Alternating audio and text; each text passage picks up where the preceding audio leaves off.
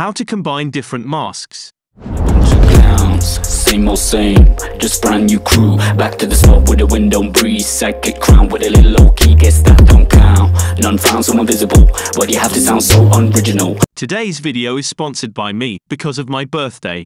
I'm becoming once again 21. Open your clip in the Fusion page and add a color correction node. Bring down the saturation slider.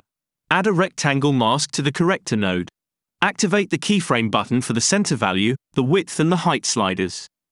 Increase the size of the mask to cover the area that you want. Go roughly through the frames and adjust the position of your mask. Now you need to use another mask to exclude the parts that you don't want to be affected.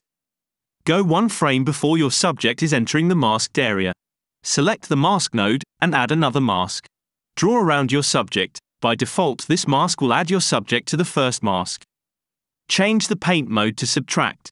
Activate the keyframe button for the level slider and bring it down to zero. Go one frame forward and increase the level slider to 1. Activate the keyframe button for the center value and go roughly through the frames and adjust the mask to follow the subject. Now you need to do the same for the next object that you want to exclude. Add another mask node, draw around the object, and change the paint mode to subtract.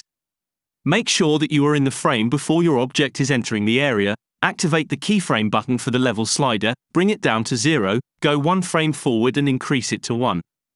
Activate the keyframe button for the center slider, go roughly through the frames and adjust the position of the mask. If you like this clip, subscribe to this channel. If you didn't, you are not welcome to my party. None found, so invisible. Do you have to sound so unoriginal?